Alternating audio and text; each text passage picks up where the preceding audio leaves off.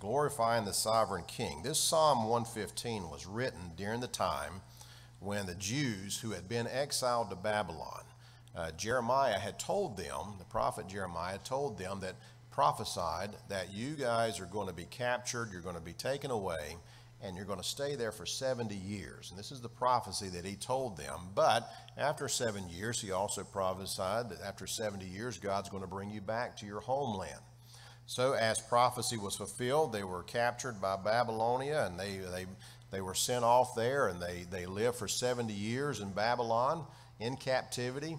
And while they were in captivity, they're sitting there and they know they're living amongst the Babylonians and they see the gods that they are worshiping and you know they're they're getting involved in that culture. And when God delivers them, as He did the children out of Egypt, He's going to deliver them out of Babylon, and He sends them back uh, to rebuild not only the walls of Jerusalem but the temple itself that was destroyed. Um, these folks are coming back with praise in their heart, thankfully, because they realized that it was the sovereignty of God that not only allowed them to be captured but it was also his providence that preserved them and his sovereignty that allowed Cyrus to release them, to go back to their homeland. Nothing they did created this, it was God only and his providence that provided a way for them to be taken back to their homeland where they could worship him freely. So, as is often the case, one of the members of the Jewish society, a psalmist, writes a psalm, which we believe it was in this particular one was a song that was sung by the people. And as we go through this, you can kind of get an idea on how they would have sung it. Uh, but as they're traveling back to Jerusalem, we believe they're singing this psalm, this hymnal, uh, giving praise to the sovereignty of God. So when we get into this, it says this in verse 1 this is how the song goes Not unto us, O Lord not unto us, but unto thy name give glory, for thy mercy and for thy truth's sake. It starts off with, We know there's nothing we have done to deserve your favor. There is nothing we have done to deserve your blessings. We have, we therefore we glorify in nothing. There is nothing in ourselves that we glorify in. All glory and honor goes to you. That's the beginning of the song. That's a pretty good foundation to build off of realizing that I'm nothing, I've done nothing, but you are everything.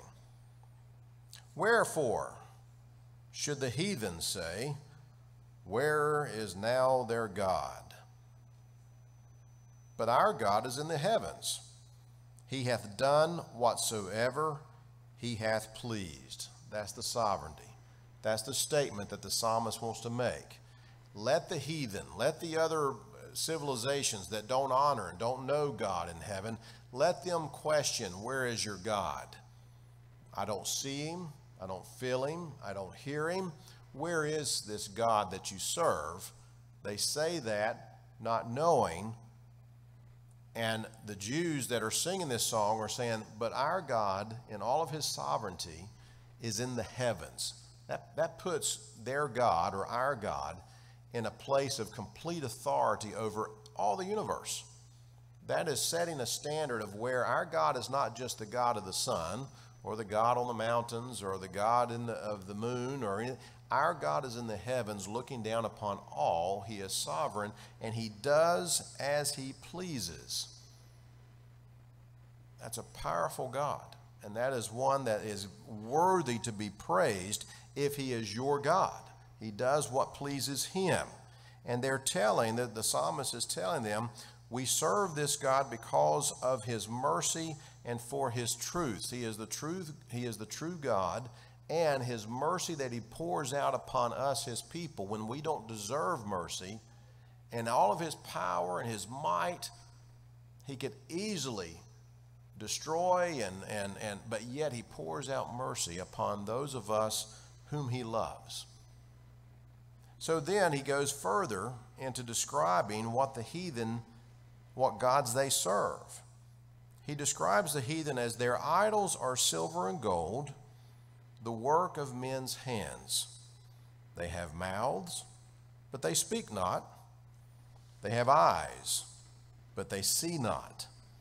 They have ears, but they hear not, and they have noses, but they smell not. They have hands, but they handle not. Feet have they, but they walk not, neither speak they through their throat. It's interesting that the psalmist is getting down to every detail of the gods that he is familiar with coming out of Babylon, seeing the idols that mankind will set up. Here, man has a desire to worship something or someone, and if they can't see a God, they create one. It's interesting that the God of the Jews, the God of us, created us in his image. But they've created their God in their image. They've brought God to a point where we want to serve and worship a God, and we are going to manufacture one that's going to look like us. He's going to have ears and eyes and nose and hands. We're going to worship and pray to this God, even though everyone knows that He can't speak, He can't touch, He can't see, He can't hear. Our God is, is as if the paganistic world, the heathens, are saying, Where is your God? Because we can't understand you worshiping something that you can't see, someone that you can't see or that you can't hear audibly, that doesn't have a form. You know, that's the sovereignty of God that is so ama- amazing to us is that when we ourselves, followers of God, lovers of God, children of God, when we try to comprehend God, we fail sh- uh, harshly, don't we? We fall short when we try to comprehend Him when we try to visualize him in our mind what does god look like? No man has seen god and lived. What he's a spirit and you know but yet he would come down into the garden and speak to adam and eve and you know he has appeared on the earth in different forms and formats but here how can we comprehend a god that has the universe in the palm of his hands? You can't. That's a god that can, is incomprehensible but yet he tells us that he knows the very hairs of our head so, this God that we can't comprehend has all power, can do anything that he chooses whenever he chooses, and anyhow that he, in any way that he chooses. Yet he can be personal enough to he can be our God alone that we can speak to this incomparable God. The pagans couldn't understand that. They couldn't grasp that. And if they couldn't grasp it, then they refused to believe in it. And, and that's so, so oftentimes through history of mankind, that's, they fall into the same trap that if you can't comprehend who you're worshiping, then you shouldn't worship. Why, worship something that you can't see or comprehend? But as the psalmist is saying, we see it everywhere. And as we get into the next psalm later on, we're going to, uh, David himself is going to say, well, you can see him everywhere. You don't have to look for him, he's everywhere, and I'll show, I'll show you how. But as this psalmist is saying, that these idols that have that man has put their trust in can do nothing to help them. When you pray to these idols, nothing happens. They don't move, they don't speak, they don't see you. None of this happens, but our God does. So in verse 8, he makes a statement that's interesting when he says, They that make them, make these idols, and we can put today's modern person or human in that, that position. Anyone that makes an idol becomes like them. In other words, you worship, or people become what they worship. You will become what you worship. And that's something that we can take out of here and think on and say, wait a minute, that's, that's a pretty good principle to, to think on. We become what we worship, what we put priority on, what is uttermost in our heart. What is, for, what is the first place in our heart is what we worship, and we become that. And the psalmist is saying the pagans worshiped the image that was in their heart. In other words, they created the God that looked like them, meaning that what they really worshiped was themselves. It was self gratification that was what they worshiped. I want what I want. I want to be the sovereign, and therefore, my God that I'm going to worship, I'm going to bring it down to my level, and he's going to look like me. And the psalmist is saying that we, are going to become who we worship, which is God. We're representative of Him, and we're not going to become gods, but we're going to uh, exemplify or mimic or represent Him. So then he changes a little bit, and he said, it goes back to his people, the psalmist does. And here again, you have to understand, they're going back to their homeland after being captured for 70 years. You can imagine them walking down the road, going back to the homeland, exiles. They've, they're, they're older now and they're on their way back to their homeland. Some of them surely uh, are younger than 70 probably haven't even seen the homeland. So they're excited. They're going back. They've heard about God and Israel and the temple and all of these things. So they're all walking back. And here's where the song breaks out where they say, O Israel, trust thou in the Lord. He is their, he is their help and their shield. O house of Aaron, which are the leaders and the priests and those that are over the people, trust in the Lord. He is their help and their shield. And ye that fear the Lord, trust in the Lord. He is their help and their shield. It's almost you can see this repetitive song where maybe the leaders are singing, O Israel, O house of Israel, ye that fear the Lord, and the people singing, Trust in the Lord, He is their help and their shield. They are convincing them in their way of praising to God, giving praise to God, that they are, their trust is in Him. They don't they know where they're going. Some have never been there, others are longing to return. They don't know what's going to be waiting on them. They don't know what's in their future as they're going back to Israel. They don't know if the very the, the other inhabitants of the land have have come and invaded them. They don't know what kind of difficulties they're going to face. They know their temple's been destroyed, the walls of Jerusalem have been destroyed. They don't know what it's going to look like.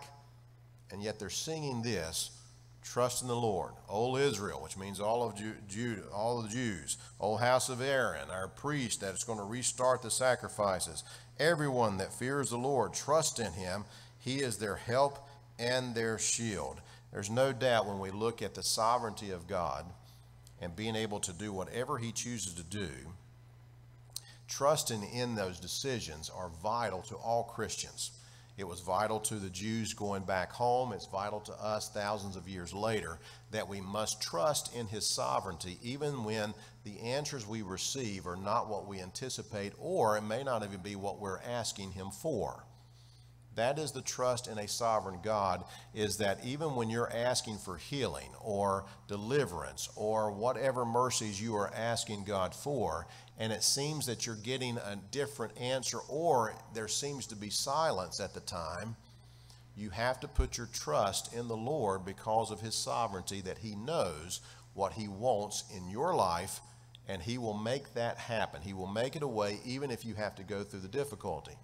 There's no doubt Paul in his life, and we have, it's interesting, I took a few minutes this, uh, this week just to reflect on his thorn in the flesh. Do you know how many hundreds of years theologians have battled and debated over what it was that could have been Paul's thorn in the flesh?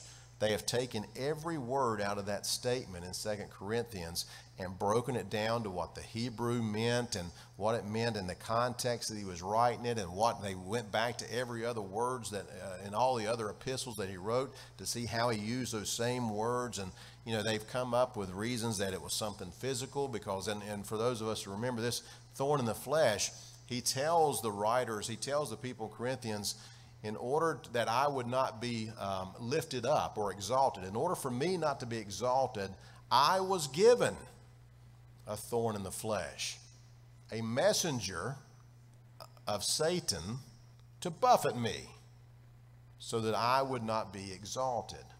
And for years and years, everybody said, well, that's got to be a, thorn in the flesh. Flesh means physical, therefore, uh, it's got to be something physical wrong with, with Paul. And it could have been. We don't really know.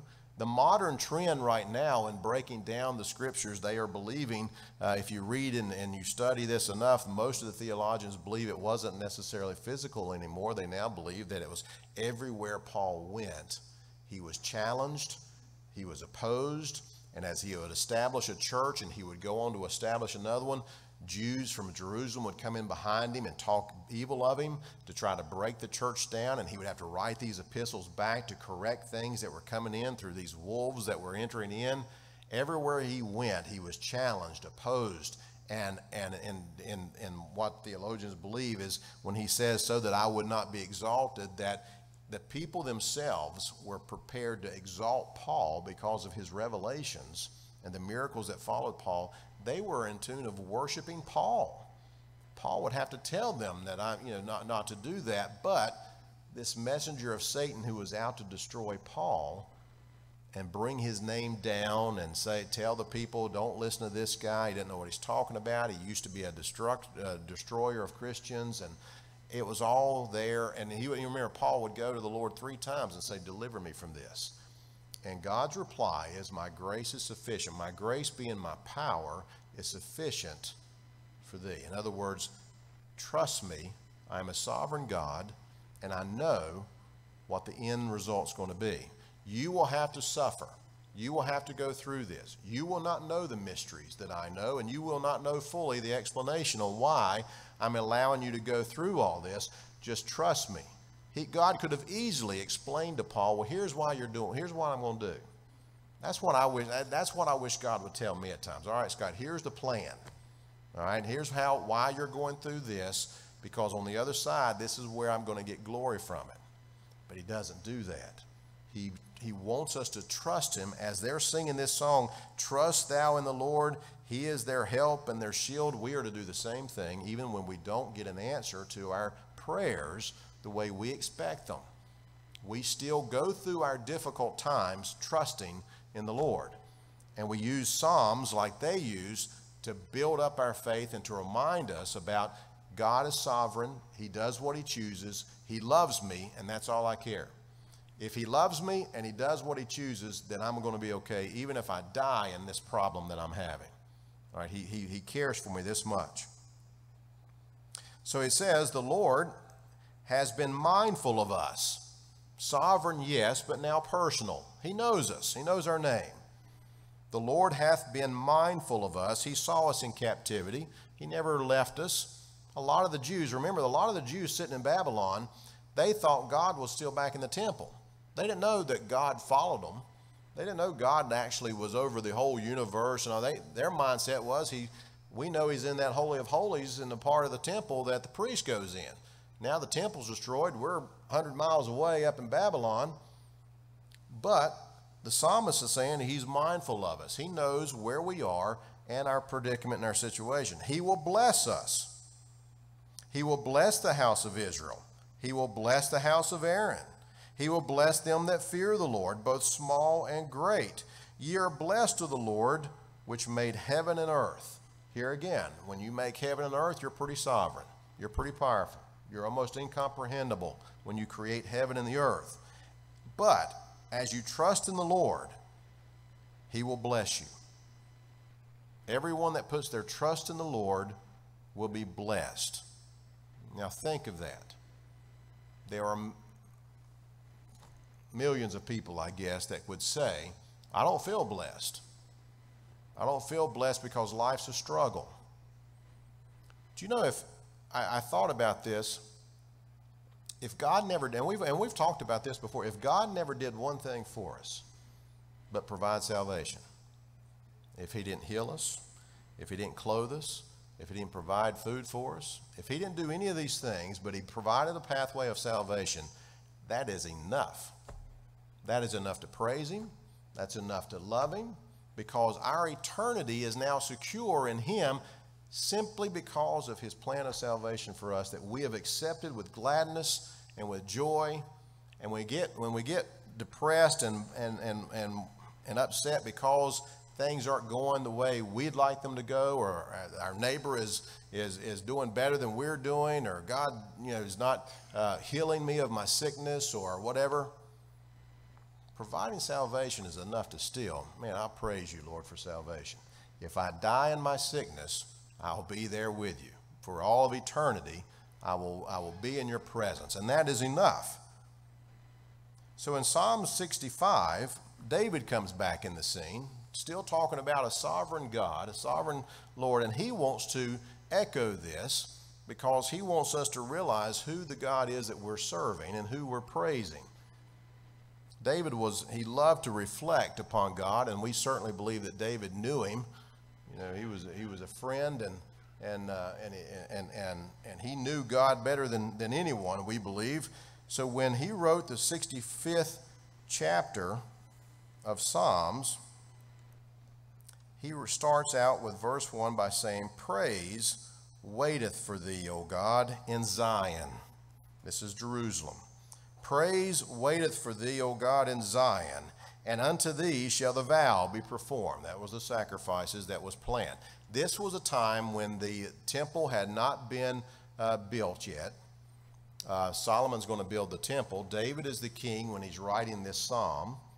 He is out in the in the uh, is not even in Jerusalem. They're in a tabernacle, the similar tabernacle that Moses would have had during the, the wilderness. They brought it across Jordan with them, and he is set up in the tabernacle. But at this point, David knows that Jerusalem is going to be Zion. This is going to be the home of God. This is going to be the city of God.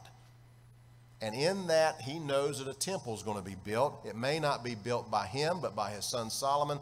But the tabernacle is going to go there until the temple is built. And in, in anticipation of that, he is writing a song of praise. God, praise is coming. Praise is coming. It's coming to Zion. It's the city that you have put your name upon, and we are bringing the tabernacle in there. I'm excited. We're excited because the vow is to be performed there. Everything that you've commanded us to do in the tabernacle to do, the, we're going to do it in your city. I, I can't wait. And he's given praise. Praise waiteth for thee, O God, in Zion. And in verse 2, even though he's talking about a sovereign God, he says, O thou that hearest prayer. What a great statement for all of us. O thou that hearest prayer, unto thee shall all flesh come. All flesh, why would David, a Jew, a man who believed that, you know, a man that grew up in a time where God commanded to wipe out the enemies, to wipe out these paganistic countries or nations, set up a kingdom for, for, for his people. You know, the Jews were notorious for believing that God was only for them. And here in this psalm, David is writing about something that most Jews would have been aghast at. Unto thee shall all flesh come, everybody, all four corners of the earth, all nations shall come to you, O God. This is a prophetic statement that David is making, not even knowing at the time that you know what Jesus that, Je- that Jesus is uh, would, the Messiah would come, give his life. They were looking for a Messiah. Don't get me wrong. They were looking for a Messiah that would come and and and elevate Israel. And and, but here again, so many of the Jews had no idea that Gentiles like us would be included. That we're part of the all flesh. Those of us sitting here today as a fulfillment of this prophecy that all flesh shall come towards you, O thou that hearest prayer. Even though God's a sovereign God, He's still personal enough to where He hears our individual prayer. That's fascinating. When, when Jesus was asked, How do we pray? and he tells them the, you know, the, the, the Lord's Prayer, as we know, there's a part of that in there that he asks God, and in, in letting us know the sovereignty of God, he says that part of our prayer is that thy kingdom come, thy will be done on earth as it is in heaven. God hears our prayer, but our prayer acknowledges the sovereignty of God. When we pray to God, we don't want necessarily, or I, am going to refer to myself, I, I, I want to be reminded of the power that He has and, the, and His will for not only my life, but all of humanity. And when I pray to the Lord, I'm, I'm supposed to remind myself that it's not just praying my will be done, but thy will be done. It is so easy for even Christians to pray for my will because I'm struggling, I'm hurting, I know what I think is the answer, and therefore I plead. And there's scriptures that tell us to pour our hearts out to the Lord. He knows our every care, and we, we understand that. But Jesus told us to pray for thy will to be done on earth with me here on it as it is in heaven. In heaven, He directs everything, He directs everything on earth. I am a part of earth. I trust in the Lord and I trust in His will. I, I, trust in the will not only of my individual life, but everything that's happening in the world around me. I believe it is under the will of God. Does that, does that mean that sin reigns as the will of God? No, but I believe that it's all part of His plan, and He is not taken by surprise of any of it. Therefore, I will not fear what is happening around us because I believe in God's will will be done uh, on earth, and I pray for that. And, and so when we hear that thou that hearest prayer, it certainly tells us, unlike so many that have generations behind us that said that sovereignty of God meant that he didn't hear you, that you know he may have put the wheels in motion for all the earth to react, but he doesn't get personal with you, and that it's futile for you to pray to an incredible God, an incomprehensible God. Why do you think you can actually bend on your knee and pray to this God and that he would hear you? But we say that it's the, the absolute sovereignty of Him is why we do pray. It's the incomparability of Him. It is the, uh, uh, we can't even comprehend the size and the complexity of this all powerful, all knowing, all present God. That's why we do pray, because He has the ability to hear us, because He does hear us, because He does work His will upon our individual lives the same time and the same way that he, He's operating the will on all of the world, the whole world. Individually and corporately and worldwide, His will is being done. And then he comes down and he starts to talk about the enormity of God. After he says that you know, uh, thou hearest pr- our prayer our iniquities prevail against me i'm always doing wrong god i'm sinning all the time my iniquities are just uh, prevailing against me they're winning this thing. As for our transgressions thou shalt purge them away. Your mercy your forgiveness and grace is going to purge away this battle that i'm having. And after he continues that, he, he jumps into verse 9, where he, has, he tries to give us a view of the sovereignty of God and how that when the pagans say, Why do you worship a God you can't see or hear or taste or smell? Your five senses have nothing to do with this. He says, Thou visiteth the earth. You didn't step back once you created it, you come to it. You live among us. You're here. You visit the earth and you waterest it, you give it nourishment. Thou greatly enricheth it with the river of God, with your provision, which is full of water. There is no limit to your provision. There is no limit to your, what you pour out. Thou preparest them corn when thou hast so provided for it. Thou waterest the ridges thereof abundantly, and thou settlest the furrows thereof. Thou makest it soft with showers. Thou blessest the springing thereof and thou crownest the year with thy goodness, and thy paths drop fatness. They drop upon the pastures of the wilderness, and the little hills rejoice on every side. The pastures are clothed with flocks, the valleys are covered with corn. They shout for joy, and they also sing. David's writing poetry here. It's a poem basically describing the sovereign God that does what he chooses, the sovereign God that created the earth and put everything in motion so that there would be provision.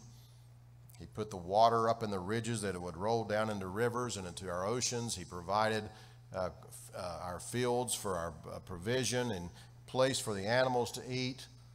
He has set everything in his incomparability. He set everything together in motion and created all. And we give him honor for that. We give him glory for that we reflect upon that. When we say that we can't see a statue that we've built, that's our God. That represents God in heaven. I can see that and I can bow down to it. No, He's everywhere. I can drive down the road and see God. I can go to the mountains and see God. I can go to the coast and see God. I can sit by a creek bank and see God. I can go by a field of pasture or cows grazing and I can see God because He built it all. He created it all. That's what a sovereign God can do. He does what He wishes and He preserves it, He provides for it, He blesses it. And because of that, I can now know that He's a personal God. The same God that created all this knows my name, knows the hairs of my head, and He cares for me. Therefore, I can pray to Him because even David says that, O thou that hearest prayer, I'll pray to Him because He's my personal God and He's a mighty God. No, I can't understand everything about Him. Can, there's mysteries that I will never know. There are mysteries that none of us will ever know until we are there with Him and then we will know all. Paul tells us that down on this earth, we, we look through a glass darkly. We don't know why things happen. We, we, we're confused at times. But when we're there, we will know all. Automatically, we will know everything because we will be with Him. But while we're down here, we trust. That's what we do. We trust in the Lord because we know with His power, He has the ability and the will to perform that which is good for us whether it's today or tomorrow or whenever, our trust will be with him. Sovereignty, a sovereign king, take joy in it.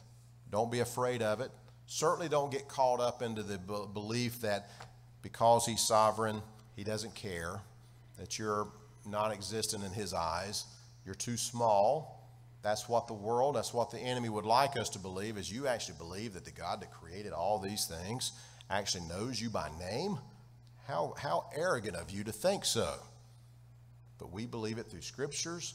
We believe it because when he came into our heart, he changed us and he, he put a love in us. He put a connection of uh, uh, to, to him, a desire to be with him and to know him. We believe it wholeheartedly. And because we know that he is in our heart and we know that he's personal, we trust him. And while we trust him and, and, and as we trust him, we know that in the end, nothing can overcome his will. His will that he has established from the, the formation of the earth until the destruction of the same will go along the path that he so chooses. And that's the side I want to be on. That's the God I want to serve, is the God who has already established the steps of everything. Not only the world events and the people therein, but he established it all the way down to me personally. You know, George Washington went, went through, um, you know, he was a deist at times, and, and, uh, but even he understood that providence played a role in his own life. five different times he could have been killed.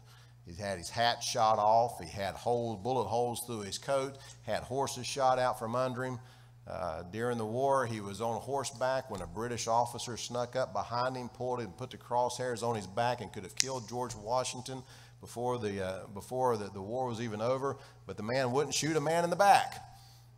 George was turned his back to him on horseback, and he wouldn't shoot the general in the back, so he rode off into history, and look where we are. Providence of God. Even Washington believed and understood that God has a plan and a purpose for everything and every individual, and I'm an individual on this earth, and God has a plan for me. With that, we'll close this lesson. Next week, we're going to continue. Got two more weeks talking about the Psalms and what they can reveal to us and how they can help us.